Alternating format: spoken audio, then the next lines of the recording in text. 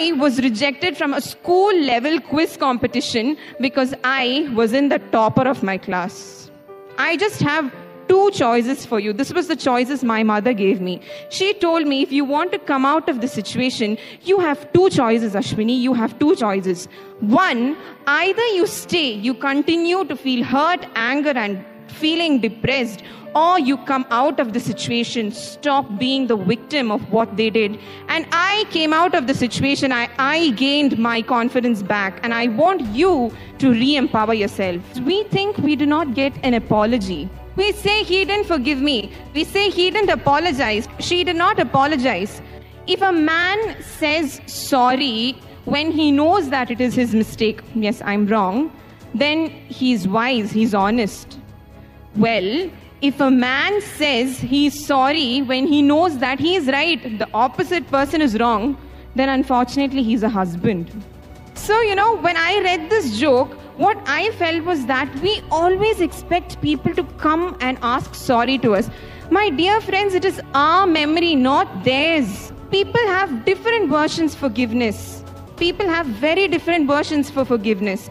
You know, if forgiveness was dependent on the apology of a particular person, then believe me, by now the whole world would have been burnt down. It is because they lack the ingredient of forgiveness within them. You know, I read a story once which had a yogi who saved a scorpion from a flooding river, a scorpion. So the yogi sees the scorpion is about to die and he goes on to save the scorpion. As usual, the scorpion bites him. The yogi goes on again, the scorpion bites again, and this happens almost three times. A passing by devotee looks at the yogi and asks, What are you doing? Why are you saving the scorpion? It is biting you, just leave it off. The yogi's reply was very different. He said, When this little scorpion cannot let go his character of biting me, how can I let go my character of helping him? The yogi was able to practice forgiveness in his life only because he contained the ingredient of forgiveness within him. And that, my friends, is love and compassion. We cannot love unless and until we forgive a person. We do not understand the difference between weakness and wickedness if a person hurts you, he or she might be weak, my friends, not wicked. We are not strong people. We all are weakness. We all are capable of hurting someone. I know that very clearly. When we are so eager to receive forgiveness by someone, why are we not willing to give forgiveness to someone? That is my question, my friends.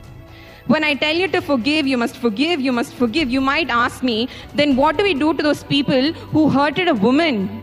What do we do to those people who harassed a girl? What do we do to those all those people who killed thousands of men? Should I forgive them?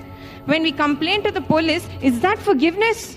No, that is not forgiveness. We have a wrong a misconception about forgiveness actually. When you complain to the police, you're complaining about that person's particular act, not about that person. When the police done, does something favorable to you, it is like applying medicine on your wound. The wound won't disappear, my friends.